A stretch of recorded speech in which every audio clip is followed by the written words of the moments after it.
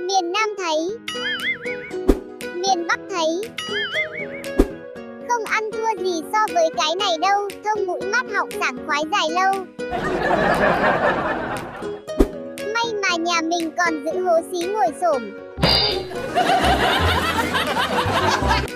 Nỗi sợ hãi lớn nhất của mùa đông là đặt mông vào toilet.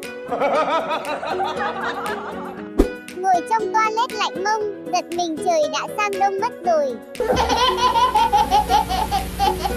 Tao ngồi số 8 nên đéo sợ. À đâu thằng này. Anh em nhớ dùng để lót nhé, bao ấm. Ông nào dùng vòi xịt nữa cứ gọi là nhổ người lên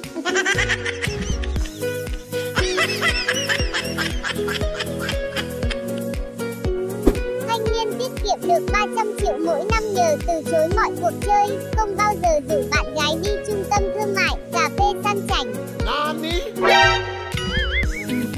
Ta chỉ sống một lần trong đời, nhưng sống giàu hay nghèo thì chưa biết. Mấy năm dư 300 triệu đã là gì đâu. Lộc mới một năm nay thôi mà đã âm nợ hết 3 tỷ đây Lộc còn chưa lên tiếng Lương tôi 3 triệu và tôi chỉ tiêu 200 nghìn một tháng. Sáng tôi nhịn ăn, trưa tôi xin cơm đồng nghiệp và tối tôi đi ăn trực. Một ngày tôi chỉ hút một điếu Z và uống một cốc trà đá tổng cộng 4k Tôi không gọi điện thoại cho ai hết chỉ nháy máy cho người ta rồi chờ gọi lại. Một tháng nạp 10k điện thoại để không bị chặn tài khoản. Tôi đạp xe đạp đi làm. Ngày trước tôi còn được bạn bè rủ đi cà phê Nhưng tôi thấy đồ uống không ngon nên nhất quyết không trả tiền Và không bao giờ được bạn tôi mời đi cà phê nữa. Tùy các bạn nghĩ chứ tôi cảm thấy vô cùng thoải mái với cuộc sống hiện tại. À đâu thằng này? Tôi vẫn bị mắc kẹt giữa hai câu nói Ta chỉ sống một lần trong đời Và hãy tiết kiệm khi còn trẻ. Sau khi lấy vợ thì mỗi ngày anh ta kiếm được 50k từ vợ Còn tôi thì tiết kiệm được tiền vé máy bay theo cách này. Hôm qua vừa mới trồng được cái cây xanh Sáng nay đã thấy mọc cây chó đẻ. What? Giọng thứ chó mực còn nằm trên đống cho nữa Hồi đó con mực mini nhà tao chui vào chậu cây trốn ngủ Mà cứ tưởng xe bắt cẩu, cẩu nó đi mất rồi Cây này trồng với củ riềng là đẹp lắm. Quá chuẩn luôn. Để vài hôm đi, rồi ra hoa đẹp lắm.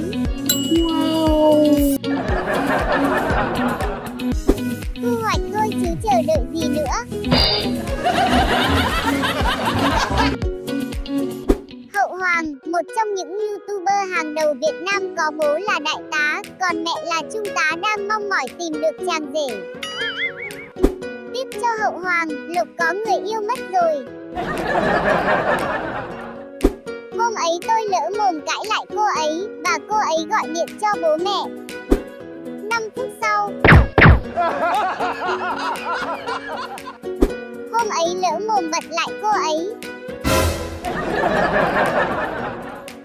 Lại nhà tôi ba đời làm quân đội Nhà người ta đeo trang sức Nhà này đeo quân hàm cho nó ngầu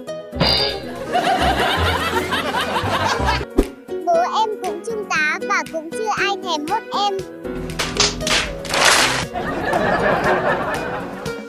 Trước nghe hậu hoàng hát thấy khá bình thường, thậm chí là nhạc không có điểm nhấn, Giờ thì thấy điểm nhấn trên cầu vai hai bác lại thấy hay Thể không ham vật chất đâu, Chẳng qua thấy màu áo thêm yêu tổ quốc thôi. Đúng là con trai của ta. Ơ thế tham gia chương trình để thành đồng nghiệp với bố mẹ xong về nhà gọi là đồng chí à. Bố mẹ thế chắc con cũng có võ, Nhường anh em đi trước tôi không có ba mic Lấy vợ giàu cùng lắm, chỉ có nhà vợ khinh, Còn mình nghèo thì cả đống người khinh. Nhà tôi ở cạnh nhà nàng, Bỗng nàng có chữa cả làng nghi tôi. Hiểu kiểu gì?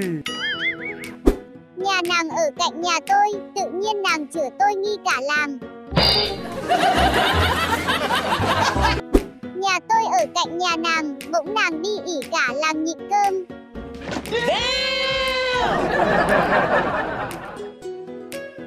Cuộc sống đúng là không lường trước được điều gì. Sau một thời gian đi phương tiện thô sơ hai bánh, kể từ hôm qua con xe logo ba cánh hoa ai ai cũng khen mình đẹp trai phong độ. Ra ngoài trải liều thì ăn nhiều không liều thì ăn ít. Sau 4 năm nỗ lực tìm tòi làm ăn tao cũng mua được con mẹt, mỗi tội chạy bằng pin. Vất vả cả năm chẳng ai thấy, thành công một tí lắm người coi Không cần logo ba cánh hoa ba vẫn đẹp trai, phong độ nhất trong mắt mẹ. Sống 11 năm trên đời, cuộc sống bế tắc như lúc này, không có đến 2000 đi nét, chán quá.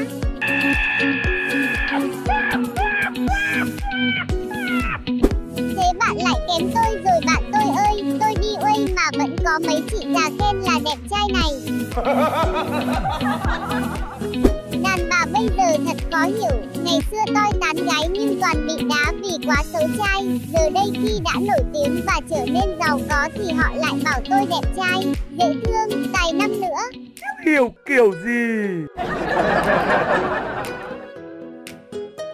Hình ảnh mới nhất từ 7 nghệ sĩ quốc dân, liệu năm nay lại có táo quân? Năm nay mà có táo quân thì kịch bản phải siêu dài mới hết các vấn đề trong năm.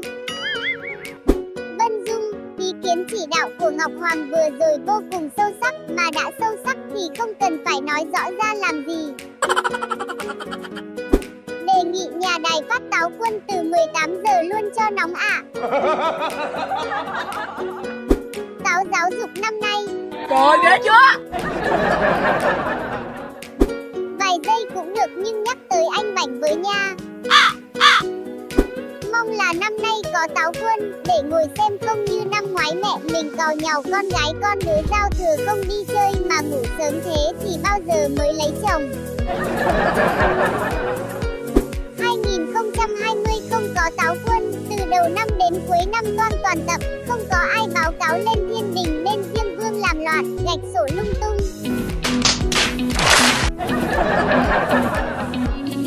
Năm nay chắc chắn có táo quân nhé. Trong câu hỏi phần 210, đáp án đúng là 56, chứ không phải 54 Vậy nên bạn có câu trả lời đúng và sớm nhất là bạn NDT Mion. Chúc mừng bạn Kim Han đã có câu trả lời đúng, chưa chỉnh sửa và sớm nhất câu hỏi IQ phần 211, đáp án là 24 Còn đây là câu hỏi phần này. Câu hỏi phần 212, điền số thích hợp vào dấu hỏi chấm. Like và đăng ký kênh mới top comment của mình để đẹp trai và xinh gái hơn nhé.